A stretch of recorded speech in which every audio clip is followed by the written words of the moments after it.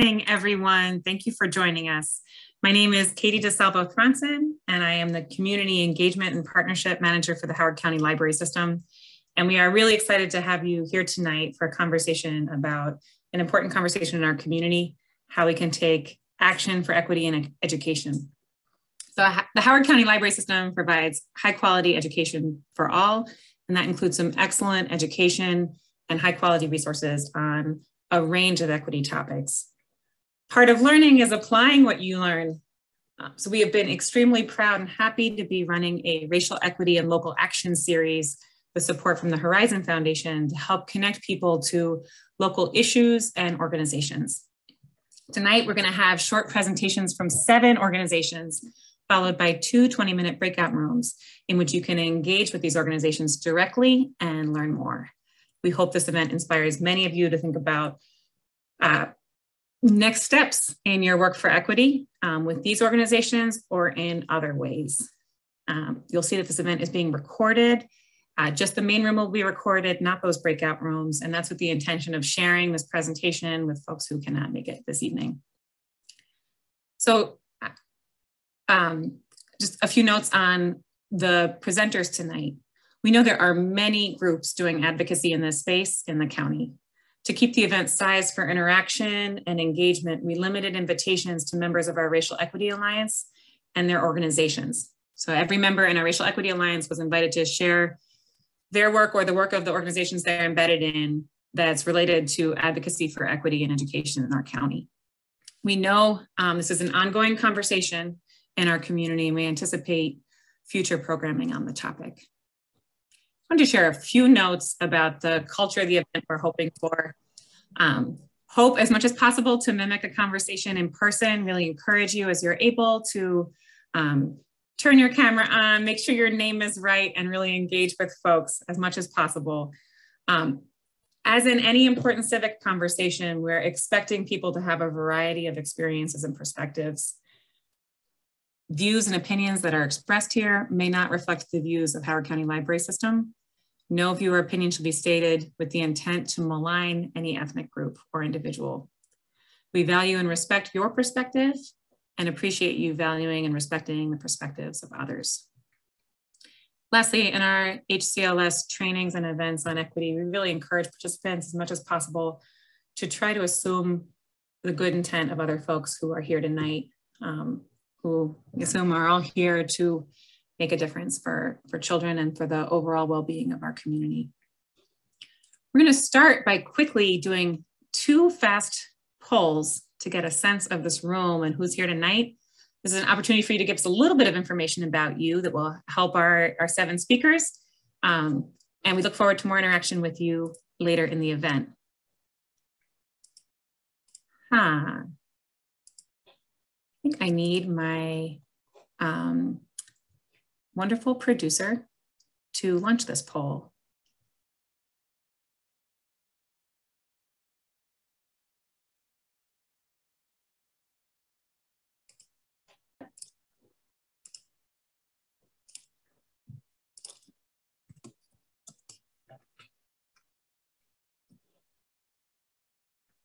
Sorry for the delay. It looks like we do have uh, people answering now. Are you able to see that, Katie? Uh, no, that is just fine. You can uh, close it out when you see a healthy percentage of respondents, and we'll all be able to see the answers. Thank you, Ash. So you'll see the first two questions really just get a sense of your experience um, and your knowledge level.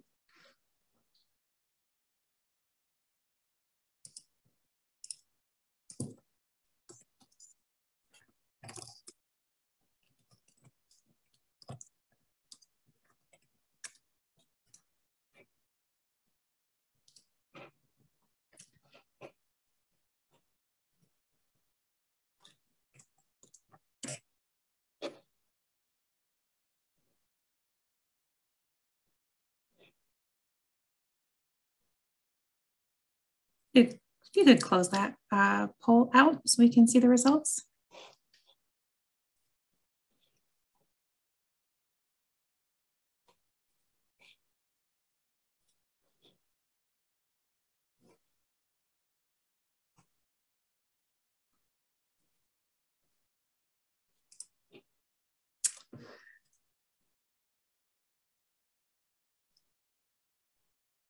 folks, I'm sorry for this for this technical difficulty. Are you Katie, um, I can see the results. Do you want me to read them off? please Does that do. work? Okay, great. So question one, have you experienced or heard about inequities in education connected to race and or ethnicity? Um, we had 4% responding, I don't think so, 0% maybe, 35% saying yes, some, and 61% saying yes all the time. For question two, how well do you know local education issues? We've got 17% responding, I am curious and I want to learn. 52% responding, I know a little, and 30% responding, I know a lot. And those were our only two poll questions, correct? I think we've. There's a second poll, um, people's activity level, and how much you're affiliated with an organization doing this kind of work. Okay.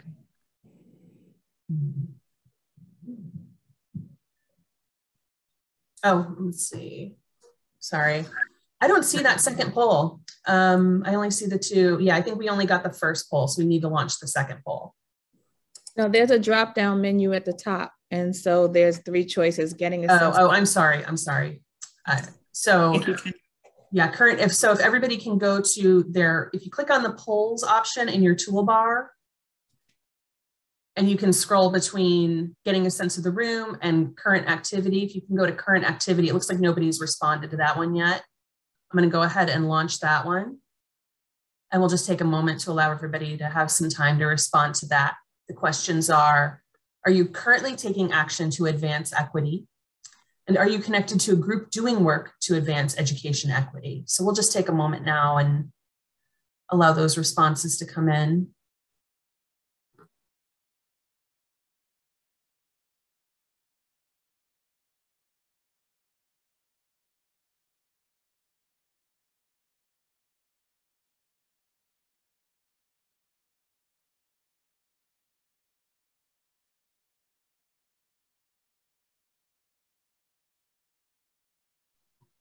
Just a little bit more than halfway there. We'll give um, another 30 seconds or so for folks to go ahead and answer those.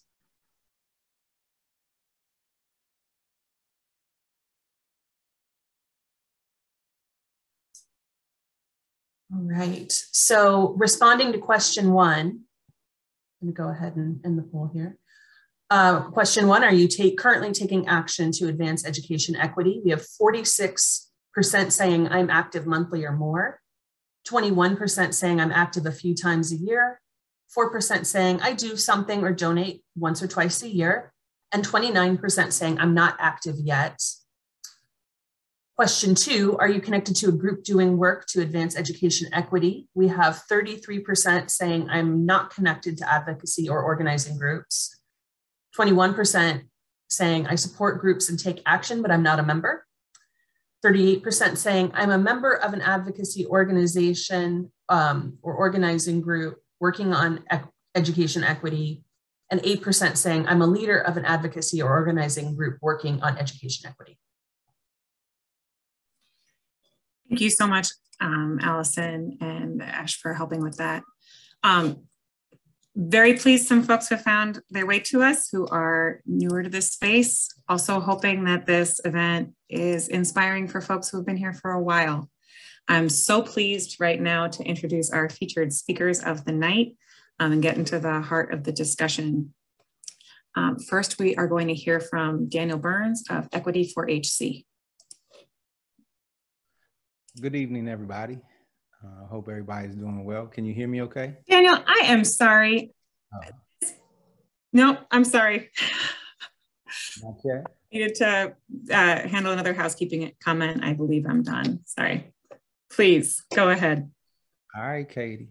Katie and I go back. So right when we were getting started with our organization, Katie was right there. So um, she's been riding with us since the beginning. Um, I'm Daniel Burns. Um, I grew up in Howard County, uh, first through 12th grade. And I came back and I was teacher, uh, a teacher there, even teacher of the year somewhere there. Um, that was a, another life ago. Um, then I put my kids through Howard County schools. Um, my son said, Dad, why'd you do that to us? It's interesting perspective because you know that the rap in Howard County is how incredible our schools are. So my co-founder and I, um, we grew up together. We've known each other since we were five.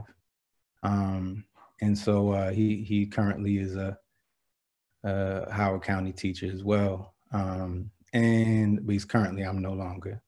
Um, we we we we formed our organization to really get to it. Um, we've been fighting behind the scenes to address equity, um, but by formalizing our efforts and um, putting together our organization, Equity for HC, which is just simply Equity for Howard County. Um, our, our students, um, my former and his current and his former as well, would tell you that every single one of our students would say that we, we love them.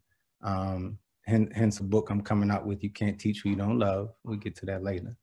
Um, and don't steal my title, anybody. Uh, but that's the truth. You can't teach who you don't love. Um, and, and so we we we we organized ourselves to really to to try to help in the most broad way possible, deep but but also broad. And so so we focused on policy writing, um, and so we we dove into policy 1080, which is Howard County's equity policy, um, and, and and we were just uh, deeply involved in that. Um, we we moved on from there and continued to fight that fight. Um, uh, to put some other things in place, community center, et cetera. Um, but we just have have um, organized ourselves, joined forces with um, other folks who who are not scared to have truthful, honest conversations. Um, you know how people tell you you got to play the game. Man, you can't play games with people's children's lives, and that's what education is: people's children's lives. So we decided to let's let's let's get real stop playing games and really address the issues that would negatively impact the trajectory of children. Um, and let's remove those barriers and put things in place to make sure that everybody's child can thrive inside of our community. So thank you, and thank you for letting me touch my soapbox just a little, um, but that's who we are. Daniel, um, you had a little more time. To tell people a little bit about um, what they can look forward to from you guys and ways they might be able to support you? Yeah, sure. That, that that's fine as well. So um we we've um we've gone beyond just the policy work. Um we also do um uh, just the basics. So so uh, you may have heard of Columbia Community Care. Um, where folks have been donating. It's been incredible um, to, to see. So that's our grassroots uh, uh, arm. Um, we have uh, the Freedom Fighter Erica Chavarria, who who started uh, Columbia Community Care, and, and we we've we've provided um, about a million meals um, since since we got started when COVID hit. Um, incredible, and uh, not we, the community brought brought resources to us, and we just simply organized. So we got a chance to see um, our community um, cross ethnicity, religion, political ideologies, um, people coming out of their pockets and putting their money where their mouth is and where their hearts are. Um, people addressing these gaps that do exist, um, but doing it straight up with their money, and, it, has been beautiful. So at the bottom, uh, basic human needs um, of, of, of, food, food and water. Um, we've we've been we've been working on that, and, and, and then we've we've we've moved from that because that's a response um, but then then to have a real plan, we've put together a plan with um, it's a it's a true community development plan um, led by the community, and and it's looking at infrastructure. So we're looking at water, food, energy, housing, and banking, and those are our five pillars. We're looking at how to create employee owned entities and co-ops so that we can truly with infrastructure address some of the systemic gaps. And um, we're, we're working on providing uh, and developing um, alternative educational opportunities that we think would um, assist in a number of ways including development in our community. Um, i could go on forever. How, how is that? Did i fill my time katie was, that was wonderful. So, folks, each speaker is getting four minutes, and that is the tip of the tip of the iceberg. For more uh, with Daniel Burns, you can pick him for one of your um, breakout sessions. Um, thank you, Daniel. So, next, we are going to hear from Ming Lee of the Howard County Chinese School. Uh, Thank you. Um, um, this is Ming Li. I'm the board of director chair of the Howard County Chinese School. First, I want to thank the Howard County Library System for having me share the equity work that uh, a Chinese school had been doing. Uh, for those of you who are not familiar with this organization, the Howard County Chinese School established in 1998 and uh, with the mission of promoting the Chinese language, the heritage language and the heritage culture, and to promote the community engagement um, the Chinese school had been uh, advocating the educational equity for a while uh, with the support from the Horizon Foundation Collaborative. Like Daniel mentioned that we work together to uh, the, the 1080 educational equity policies. And uh, I, I, want to highlight some of the unique challenges that the Asian Americans, especially the Chinese Americans, uh, are facing so we are all with uh, categorized that as uh, model minorities. So under this myth, everything seems fine. So we're rich, we have a good education, we have a good job. Then why there any uh, you know equity issue there? But under the shadow uh, of this myth, so the Asian Americans, uh, some data I studied, some of the data show that the Asian American has the biggest disparities both uh, economic and social status and uh, education. So although some of the students demonstrate some uh, good performance in the public school, and uh, we recently we identified some uh, severe issues such as the mental health issues. And uh, especially recently during the pandemic, we all know the Asian hate. So the Asian American are facing a severe safety concern or threat. So we have an agreement that increasing policy, uh, the policing is not uh, policing, I'm sorry, is not the solution. So one uh, story here, that during the July 4th uh, parade, so we have the team um, join the parade after we passed uh, two uh, young little girls. One little girl said, uh, Chinese sucks. I, I, I hate them. So that uh, lead us to think about what's going on with our education system. What's the problem here we're facing? So we're thinking about that and we're thinking that we need to work on the education. We need to, as Daniel mentioned that children is our future. We need to work with the children. So with that, the Chinese school established a program called Youth Ambassador Program.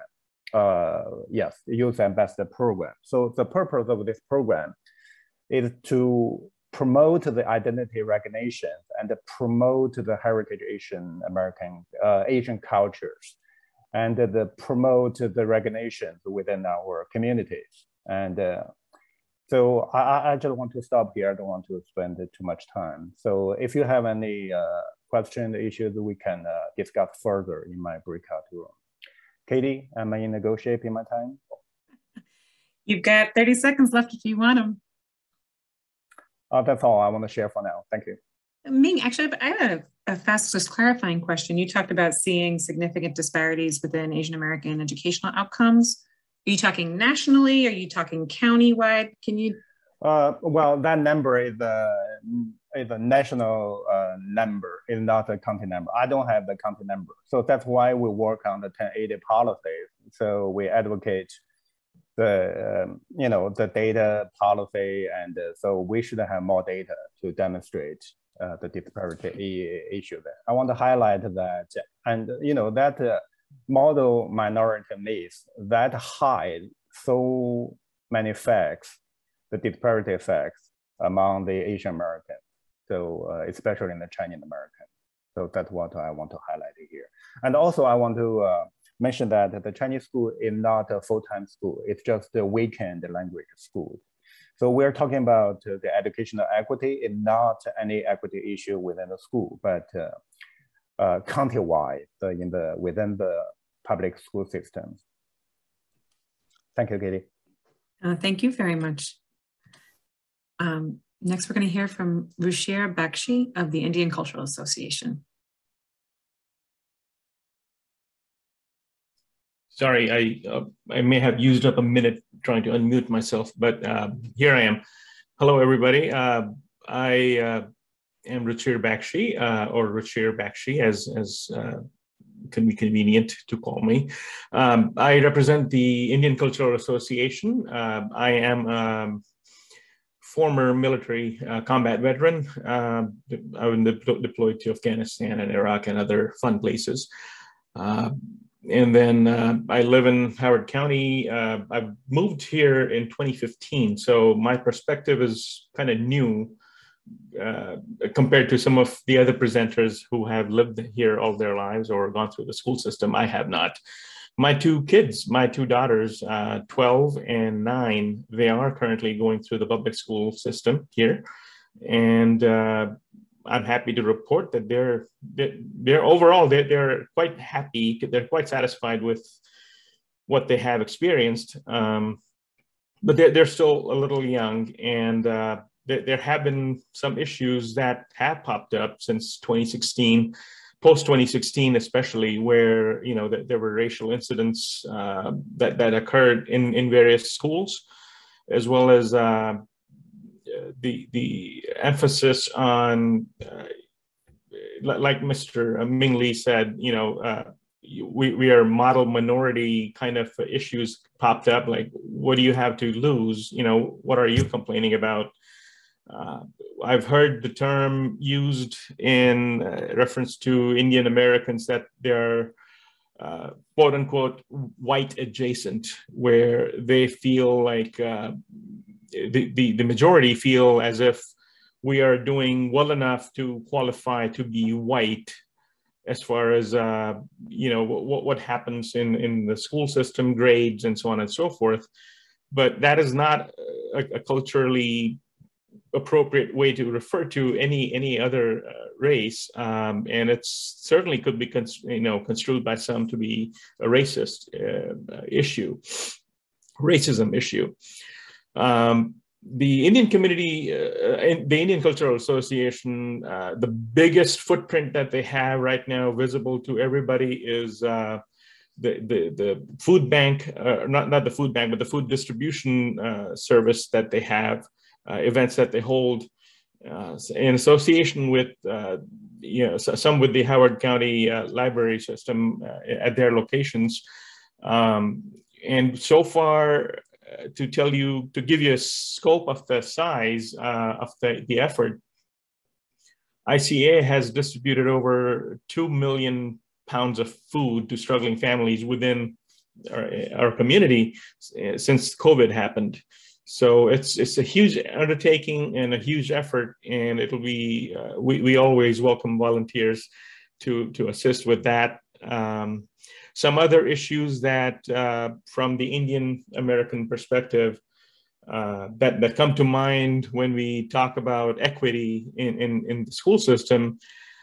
Um, is the lack of cultural knowledge potentially about who Indians are or where they come from or what their religion is and so on and so forth which in turn you know leads to more uh, which which in turn makes it easier for folks who haven't received that um, that, that kind of information to to say hey i don't know them so i must fear them. So we, we need to stop this you know happening potentially uh, starting at elementary school you know uh, not at sixth grade. And maybe maybe uh, when the kids are younger we, we need to start in you know howard county is such a diverse community that we need to inform our kids that you know all the other people exist and what kind you know what kind of uh, benefits they bring to the population i think i may have used up my time okay thank you Ruchir um, Next, we're going to hear from Jennifer Goldberg of the Jewish Community Relations Council. Good evening, everyone.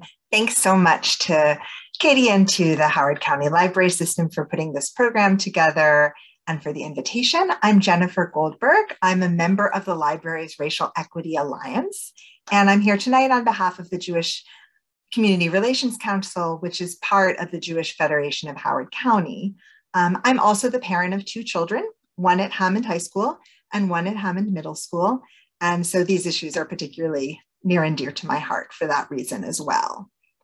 The Jewish Community Relations Council of Howard County, or the JCRC, cooperates and engages with programs and causes that advance Jewish communal values. And we do our work by forming partnerships, partnerships with community leaders, with elected officials, with community organizations and coalitions, and people like the individuals and groups in this room today. And we're particularly excited for this opportunity for that reason. In the area of educational equity, the JCRC has been partnering for a number of years now with representatives from the Chinese American Parent Association of Howard County, with the Howard County Muslim Council, and the Indian Origin Network of Howard County regarding the issue of the school calendar and seeking recognition from HCPSS for a range of cultural and religious holidays. And so, most recently, our groups came together to advocate with the Board of Education to make permanent the decision to provide days off from school on Rosh Hashanah, Yom Kippur, the Lunar New Year, Diwali, and Eid, which the school system has been doing for the past five years. And in a school system in which at least a quarter of the student population are Indian, Korean, Chinese, Vietnamese, Jewish, Muslim, or of mixed heritage, we all all the different groups came together to ask that these students' most important holidays be accommodated. And we're excited to be here tonight to try to share what we've been doing and find new partnerships with other groups as well, because we really want to form partnerships with, as I said, each of the groups that are here um, being represented, as well as the individuals who have come here to learn more and share what they're doing. So um, we're seeking to do more, particularly on implementing Policy 1080, which was discussed earlier about educational equity, as well as the Students' Rights and Responsibilities policy that's being discussed and is going to come up again in February, that we think really has important diversity, equity, and inclusion elements to it that all the groups can be um, advocating for. So, with that, I'm going to um, put in a plug for you to join us tonight in the breakout session to talk about how you can be involved in our efforts. And so we can learn from you about what you're doing because what we, we really do want to be seeking new ways that we can partner. And if you can't join us tonight because there are so many other groups, I'm also going to invite you to visit the Jewish Federation's website, jewishhowardcounty.org, and click on the JCRC tab to learn more about what we're doing. As always, with all websites, it's always getting updated. So um, it's a, but it is an opportunity to learn more about us. Thanks so much.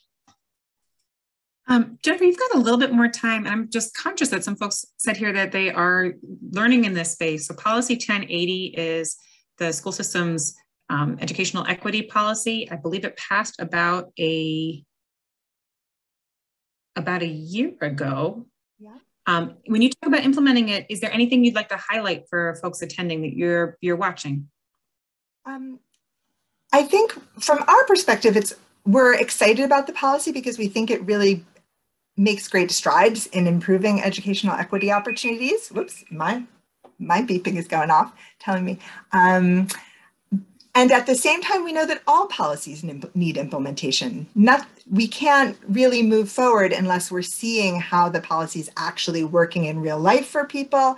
I think it was Ming Lee who was discussing data. Um, unless you're gathering that data and hearing from people in the community and really have your ears to the ground and are listening like we're doing tonight, we won't know whether that policy is being implemented and um, helping students as much as it can. Thank you, Jennifer. I see a, um, a link put in the chat. Um, thank you, Lena Kennedy, for putting it there um, for anyone who wants to follow up and learn more about uh, that policy. Uh, now I would like to invite uh, Willie Flowers to speak. He's from the NAACP Howard County branch. Good evening. Um, uh, good evening, everyone. Uh, my name is Willie Flowers, and I represent the NAACP. We stand in this country as the oldest civil rights organization um, ever initiated in this country. Our frame is um, specifically fo focused on fighting uh, racial discrimination um, we'll go more into that in the breakout room. But as a frame of what we um, do as a local branch is kind of shrouded around our, our four, what we call four game changers. They include economic stability, education, health, public policy and criminal justice, um, voting rights and um, political representation, and to expand youth and young adult um, activities overall. Um, for our branch specifically, as you know, um, if if people have been consistent, I hear discussions about the um, the equity policy. We have taken a serious role of being involved in in the decisions made around policy for quite some time, whether it was the specific committee to look at the uh, policy for equity, diversity, equity, inclusion, or uh, represent being represented on the um, uh, OBRC, uh, uh, Operating Budget Review Committee, and other committees, the redistricting committee. Um, we have taken the same effort um, forward, and that's to focus on supporting issues around um, racial discrimination of all people. And our calls come from everybody. Our calls are not from just Black people. Our calls are not just from um, people from our organization, our calls from people who are facing uh, discrimination based on sex, based on um, uh, gender, uh, based on uh, ethnic, um, the reality, religion, all of these issues of discrimination happening in the Howard County Public Schools and the Howard County um, community. And uh, we're here to um, um, deal with those issues and have the experience to do just that. now, what we have done in recent times is created, um, and we're really planning to implement this in the 2022 um, year um, because we're looking at this whole idea of a parent council that helps not just students, but parents who are uh, facing challenges specifically with not just public schools either. The public schools are the primary source. That's why people come to Howard County. But because of COVID and a lot of things, people are making decisions not to um, participate with public schools at all. So there's a whole community of um, homeschool um, families who have made decisions um, in that light and families who have made decisions about private schools, as you know. But uh, all of that said, we, we're taking, we, we've taken a ho holistic view of all of this to keep the NAACP in the position to fight it. We had to fight um, for details about redistricting, where we um, uh, realize that not just um, the history of uh, racial discrimination in the past, but racial discrimination and, and, racial misunderstanding currently make it very difficult for people not to implement some of the strategies from 40 or 50 years ago. Um, we recently reprinted um, the history of Black folks in, in Howard County, a book. Uh, we'll talk about this in the uh, in breakout session, but um, what's unique about that is the same challenges that we had three years ago, two years ago with redistricting are the same challenges that were happening when um, African American families and communities were trying to uh, integrate public schools to simply have what we're calling equity now. But in that, that case, it was a matter of having quality schools, having sufficient and trained teachers, and having facilities that represented um, the best that could be provided for families. And that was not happening. And the same energy, and it's detailed in this book, and like I said, we can talk about it later, and the, the same energy was put forth um, to um, discriminate against African Americans then, and it was the same spirit that was opposed to steps toward redistricting two years ago. And um, this is something that we're dealing with.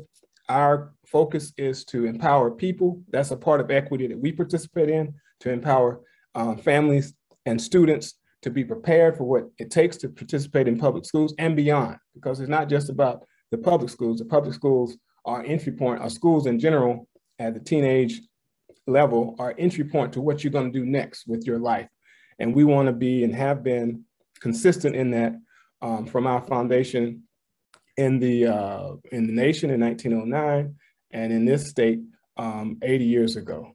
So I don't know where I'm at with time, but that's a frame for um, what you get. We do invite you to our um, panel discussion. We will talk about the Parent Council. We will talk about efforts around expanding technology for everybody to break down the equity um, and access barriers with technology. And we also talk about the challenge um, that we all face, nobody talks about, and that is one of uh, motivating um, Black male achievement, which is kind of a factor that's left out of, of this conversation about equity.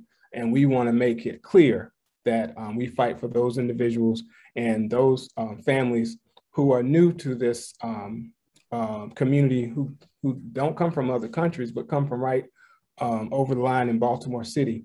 Um, we fight for them as well. Um, as well as a significant conversation about a freedom school, which counters this conversation about um, uh, CTR and um, the negativity that surrounds um, critical race um, theory um, and how we plan to combat that. Thank you very much. Uh, you packed a lot into that last portion of time. There's a uh, so much to discuss here tonight, and I really appreciate all the panelists for for laying that out for us. Thank you, Willie. Um, we're next going to pivot to um, Jessica Mahajan with Oakland Mills Online.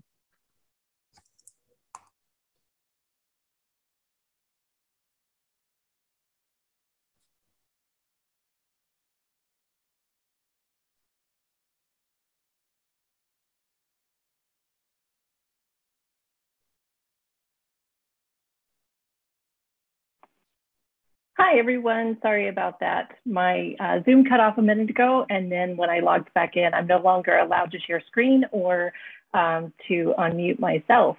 I am Jessica Mahajan. I'm Jessica Mahajan, one of the co-founders of Oakland Mills Online, along with Amy Brooks. I'm joined tonight by um, with Hannah Vogel. Um, she's one of our administrators and program managers.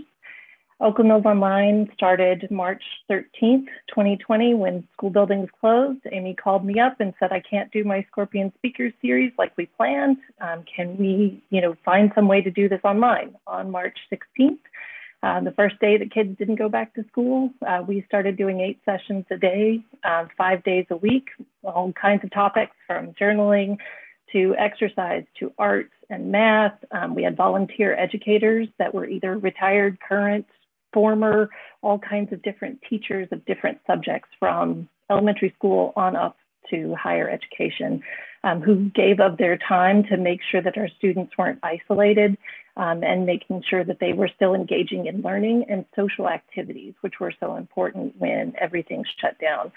Um, this is, we considered an intergenerational learning space. We started everything on Zoom. And um, we've gone on since then. We don't do the eight sessions a day anymore now that school buildings in the world are opened back up, um, but it has been a wonderful chance. And I'm going to go ahead and share my screen while I have a couple minutes left. Sorry, just a second. You'd think I'd have more practice at this. So um, we are, as I said, a nonprofit. We're focused on learning, growing, and leading together. A lot of that has to do with social justice. So a lot of the things that you um, have been mentioned before, OMO is radically inclusive. We believe that everyone has a chance, and we should emphasize the voices of those who are often not heard. Um, can everyone that want to be uh, learning, they want to be curious, they, they are the helpers. They're the ones that are always at the PTA events. They're the ones that are always signing up for everything. Um, so they are, they are the ones that are always volunteering with OMO. These are some of our um, topics that we've covered. Uh, the library has been a huge uh, partner in our journey with this because the librarians at the East Columbia Library recognized that a lot of the preschool and toddlers kids were not getting that classroom experience they would often get before they started kindergarten. Um, so thanks to the East Columbia librarians, we still have Spanish Club that happens every Wednesday with Miss Adriana. Um, we've covered books. We've done huge series on the 1619 projects and Caste, um, which was amazing to go through during while the January 6th insurrection happened um, to have that be able to come together and, and, really discuss and direct those feelings. So for us, equity in education is not just about the schools, it's making sure that the adults understand that there is a problem so that we can address it and we do reach out and make sure that we are redistricting in a way that, that allows for more equity from school to school.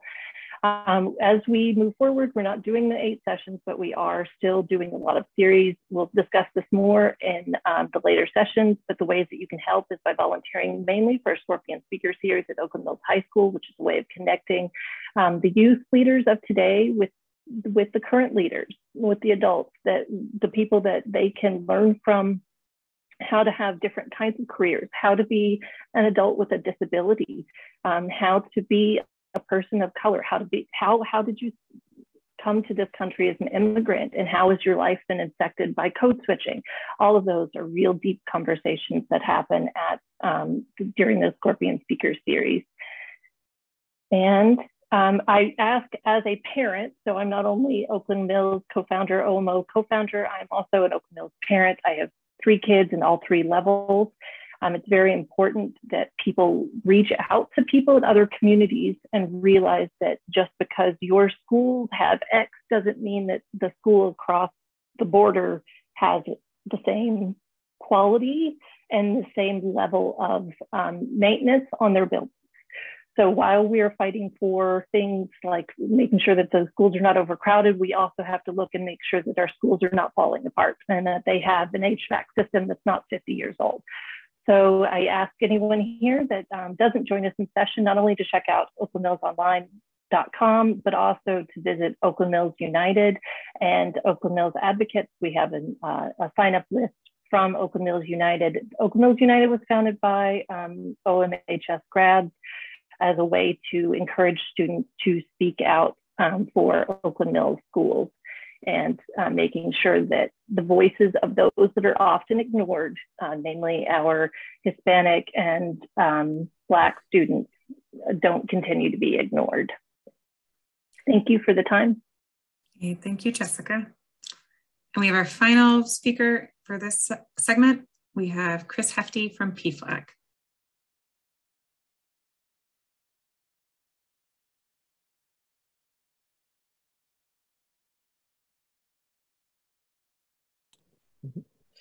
Alrighty, well, thank you all so much for having me today. It's uh, something I was able to join in at the last minute. Uh, Jamel Howard of PFLAG Howard County, who's the current acting president, but also the vice president of our board, uh, was unable to make it and uh, said I should stop in and uh, do this for us, and I was excited to do so. Um, so as a rep representative of PFLAG Columbia Howard County, I just wanted to quick introduce some of the things we do. We work within the LGBTQ plus community, which is an intersectional community, which means that we have people from every last one of your demographics.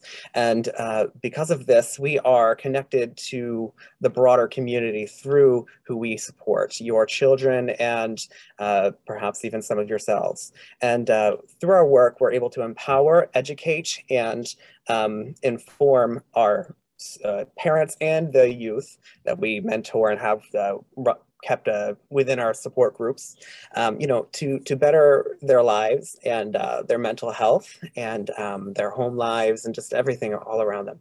Uh, so my role is a fundraising coordinator, but I'm also the uh, Rainbow Youth and Allies coordinator and uh, facilitator. So I work with the youth.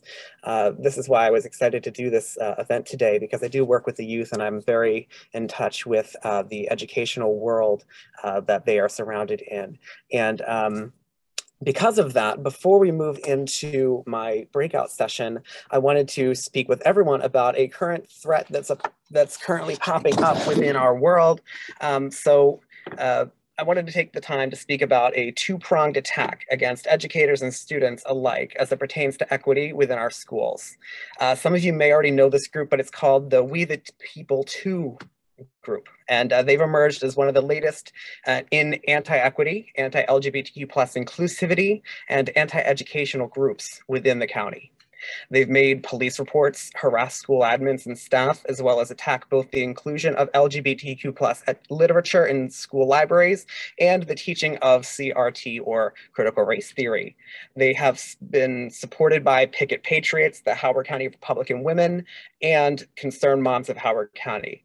Uh, I personally actually attended their very controversial meeting and forum to find out who was who and who was running this group and what their true uh, intentions were. And I personally find this group to be extremely dangerous to everyone in the county, especially to our students.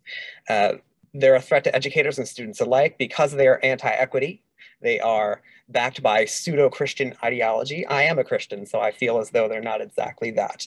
And uh, they are proudly making statements that they are anti civil rights, against teaching CRT, and introducing any diverse topics centered around equity within schools. And that they believe that the teaching of these ideologies is based off of Marxism and that it's being fed to these students and uh, undermining parental rights to teaching them about morality. Um, so I was here to raise awareness about this dangerous hate group and encourage the community at large to join me and PFLAG Howard County, Columbia to hold a rally at Lakefront in early December so we can assure students and educators that the majority of Howard County residents support them and will fight them for uh, fight for them in terms of their racial equity and for sexual and gender diverse persons. Um, I will leave my email in the group uh, chat so you are able to get involved and to reach out with me. I'm going to be organizing that. Um, but that's all I wanted to start with, and uh, we can talk more. Whoever wants to stop in for my uh, breakout session. Thank you. Unless you have questions now, if we have time. I actually um, Chris, you had a, a tiny bit more more time. Is there anything else you want to elaborate in terms of? So that that sounds like something people have been looking at recently. Is there anything in the in your in your past work around educational equity you'd like to raise? You got about thirty seconds. Sure. Um, well, um, in terms of racial equity, I find that there's uh, some areas where um, even within uh, racial equity groups, there's lack of understanding and uh, I guess proper treatment and addressing of LGBTQ plus persons and youth. Um, a lot of times within other um, racial backgrounds, um, I find that, you know, there's still homophobia that permeates these uh, groups, these cultures. And uh, so something that we do with our um, equity board and uh, task force on with uh, Howard County, um, PFLAG Howard County, is to address these situations and educate others as well as empower those students that are uh, facing these uh, struggles and conflicts on top of their sexual orientations. So it's kind of a two-folded issue. Very much.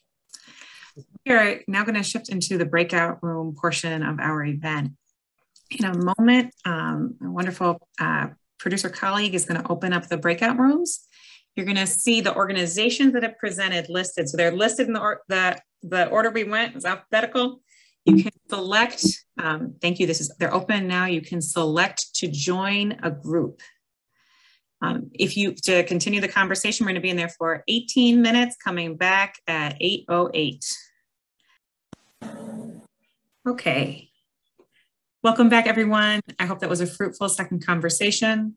Um, we know that uh, on such an important topic and with such a wide and interesting range of organizations and people to speak with, that this is the beginning of a conversation. And we really hope that this ripples out, um, that you found some people, organizations, um, and work that you want to connect with in new ways.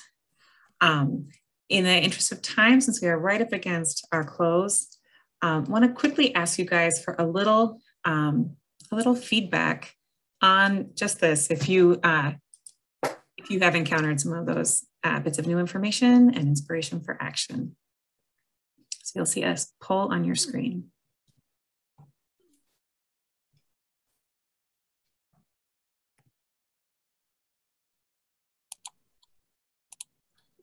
Mm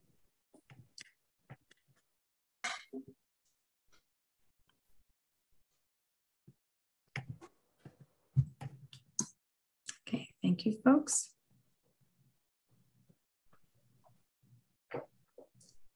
Seeing most respondents in, I'll give you a minute or two more, a moment or two more. Okay, we're seeing about a, a third, third, third. People learning a little, some, or a lot. And after tonight, um, about 20% uh, feel they want to learn more and make a commitment later.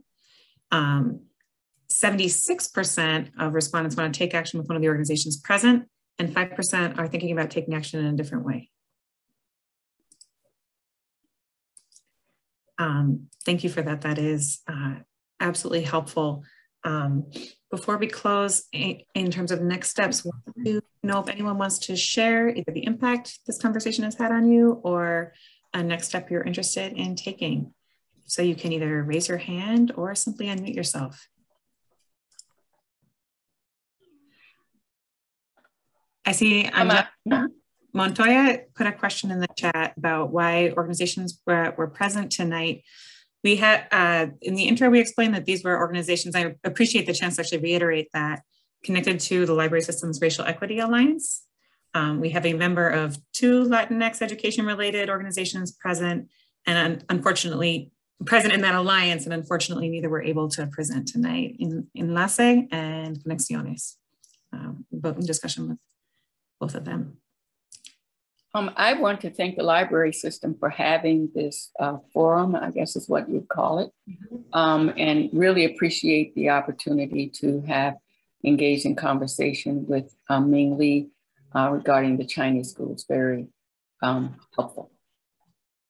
You are very welcome. I um, want to let you guys know about three uh, perhaps related events. Um, and then there actually you heard a whole bunch of organizations speak about a really contextual understanding of education tonight, about education alongside issues like food, um, housing, and more, and economic security. Um, on December 9th, we can also think about education and history. We're going to hear from Christopher Bonner, who teaches African American history at the University of Maryland College Park.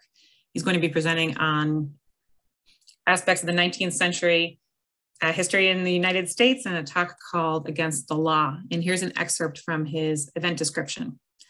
Through two stories, one about Black voting rights and the other about the defense of an alleged fugitive slave, we can see the complexities of Black activist communities and the radical possibilities for African American politics. Can I get that? Um, uh, that is in the chat right now. You'll also receive this via email.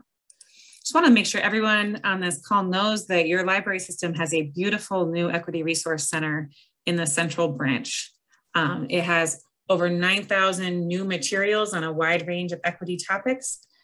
And it is currently also the home of an exhibit called Undesigning, Undesign the Red Line. And Undesign the Red Line is, is an exhibit on the history of structural racism and inequality in housing and more from 1938 until today.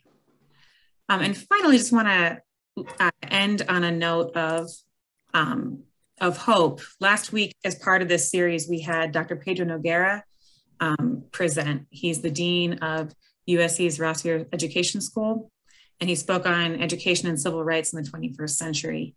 There's a link to his speech in the chat. We'll include that in our follow-up email for tonight. We are able to share that recording and access it um, until November 29th. Um, but really encourage you to watch it if you were unable to attend.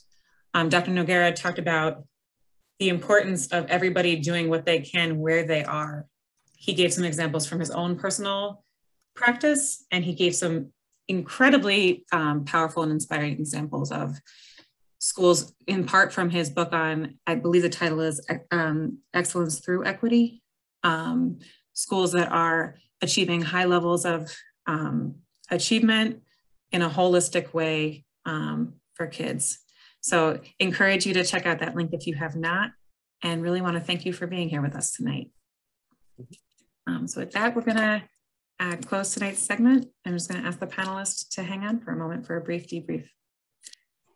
Uh, seeing some enthusiastic comments in the chat. Thank you, folks.